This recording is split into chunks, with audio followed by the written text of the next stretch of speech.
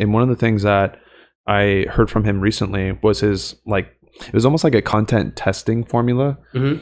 where and he realized and I I think we're all guilty of this but we have these ideas because I think as marketers business owners our mind is always going and we're always coming up with new ideas like I could drive by a Wendy's and come up with a marketing concept for a coaching business Oh yeah. it just it just happens when it happens and you have to write it down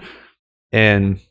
what he found was he had this notepad of hundreds and uh, hundreds or thousands of ideas that he's had or, or things that he's wanted to talk about that never really saw the light of day hmm and then he started emailing himself uh, the ideas and he would talk about them and he does videos about them and then he kind of graduated into just tweeting them out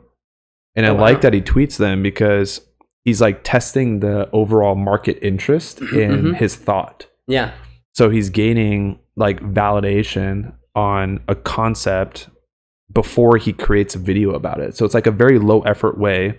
to test whether or not your market is interested in whatever you've thought about Yeah. so it's like it's like you're able to have a conversation with someone about something without actually investing the time to do it.